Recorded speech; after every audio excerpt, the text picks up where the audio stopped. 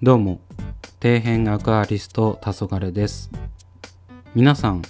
水替えはどうやっていますか？自分は何回も動画にしているんですが浄水器を導入して楽々水替えを実現しています。現在は7つの水槽を管理しているのでどうしても浄水器の手を借りないと大変です。園芸用ホースリールと併用することでバケツリレーの煩わしさを減らしてます。前回はアリエクスプレスで購入した追加ハウジングで軟水化をプラスしましたが経営値は変わらないという結果に。どうやら調べると経営値は変わらないそうでこれ以上頑張っても経営値を下げるのは難しそうなのでひとまず浄水器改造計画は終了です。ただこの浄水器水が入ると結構重くハウジングもでかくてお世辞にも取り回しがいいとは言えません。ご家庭によっては設置場所に苦慮することもあるかと思います。そんなお宅のために取り回し簡単の超小型浄水器があるので今回はそちらを紹介していきたいと思います。今回紹介する商品はこちら。アクアギークから販売されているシンプルジュニアです。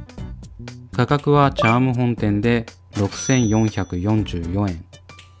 塩素の除去効率はそのままにサイズを最小にしたモデルです。小型で軽量という他に価格が安価なのも特徴です。通常のアクアリウム用浄水器は1万2000円以上するので半額の値段ですね。とりあえず浄水器を試してみたいとか買っても置く場所がない方などにはとってもおすすめです。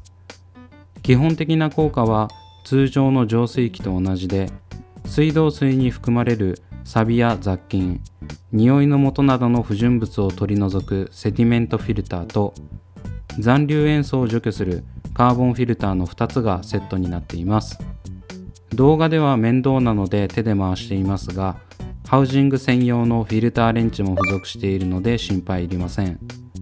裏は穴が開いており壁にかけて使用することもできます。通常の浄水器だとちょっとためらわれますがこれくらい軽量であれば設置場所の自由度も高いのでこういった構造はいいですね。サイズの比較はこちら。後ろの浄水器に比べてどれくらい小さいかがお分かりいただけるかと思います。こんだけ小さいと正直効果も大したことないんじゃないかと変に勘ぐっちゃいますよね。しかしハウジング以外の構造は他の浄水器と全く一緒なので価格が安くて小型だからといって見劣りする部分はありません。ただコネクタに関してはワンタッチタイプのものではないので付属のホースバンドを使用してホースと固定する必要があります。手元にあるワンタッチコネクタと取り替えて使用できないか試してみたんですがネジ山の長さが足りなくて難しそうなんで諦めました。ハウジング以外は他の浄水器と同じということは要するにハウジングの大きさを変えれば同じ大きさの浄水器として使用できるわけです。試しに自分の格安浄水器のハウジングと取り替えてみましょう。はい。難なく取り付けることができました。どうしても小型では満足できなくなったらハウジングだけ交換するのもありですね。続いては消耗品の価格についてお話ししていきます。まず通常の浄水器の場合は10インチというサイズで各社統一されているのでいろんな製品が売られています。今回は超メジャーどころのマーフィードのフィルターを比較していきます。価格に関してはチャーム本店を基準にしております。マーフィードの浄水器のフィルターの値段はカーボンフィルターが2980円。セディメントフィルターが950円です。だいたい1本あたり30から50トンの水を処理することができるそうです。次にシンプルジュニアの交換用フィルターを見ていきましょう。カーボンフィルターが1402円。セディメントフィルターが463円となっています。だいたい1本あたり15から30トンの水を処理することができるそうです。処理する水の量も違いますが価格も結構違いますね。処理できる水量はどちらも振れ幅があるんで最低限処理できるであろう水量を基準にします。マーフィードのフィルターは30トン。シンプルジュニアは15トンです。ということは単純に2倍処理量に違いがあるわけですね。では価格の方を見ていきましょう。マーフィードは2つのフィルターを合わせて3930円。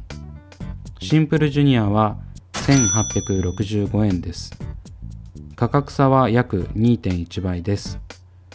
ということは僅差ではありますがシンプルジュニアの方がコスパがいいことになりますね。まあ効果が切れるタイミングが早いのでちょくちょく水質検査をしないといけない手間はありますがそれを考慮してもこのランニングコストの安さは目を見張るものがあります。というわけで本体の構造やランニングコストに関して見ていきましたが続いては実際に塩素を除去できているのかを確認していきたいと思います。先ほど説明したようにワンタッチ式ではないのでホースバンドでしっかりとホースを固定しておきます。それでは通水していきます。結構早く水が出てきましたね。とりあえずしっかり捨て水してハウジング内に水が満たされるまで通水していきます。ちなみにあまりにも流量が多いと処理能力に支障をきたすのでドバドバ水を出しすぎないように気をつけてください。一応メーカー推奨は1分あたり4リットルです。それではしっかり捨て水もできたので塩素を測定していきます。今回もいつものマーフィードの塩素テスターを使っていきます。これ何回も使えるからほんと便利ですね。ちょっと撮影しながら混ぜるのが難しかったので動画外でしっかり振りました。結果は塩素反応は全くなし。小さいながらもしっかり塩素を処理できていることが分かりました。これで安心して使用できますね。というわけでいかがだったでしょうか。超小型浄水器ということでいろんな使い道がありそうだなと夢が膨らみますが浄水器の入門としても素晴らしい製品です。まあ正直浄水器持ってる自分には無用の長物なんですが気になる製品だったので詳しく調べられて満足です。個人的には浄水器ってなかなか導入に踏み切るまでの勇気がいるのでそういった方の参考になれば幸いです。浄水器を導入することで水替えが格段に楽になったので複数水槽をお持ちの方は是非導入してみてください。特に90センチ水槽以上の場合はマジで頭おかしくなるくらい水替え大変なんで必須と言っても過言ではないですね。特に難しいこともないので気になった方は一度試してみてはいかがでしょうかというわけで今回はここまで Twitter と Instagram もやっておりますのでそちらも見ていただけると嬉しいですチャンネル登録とかしていただけると動画制作の励みになりますのでぜひお願いします。それではご視聴ありがとうございました。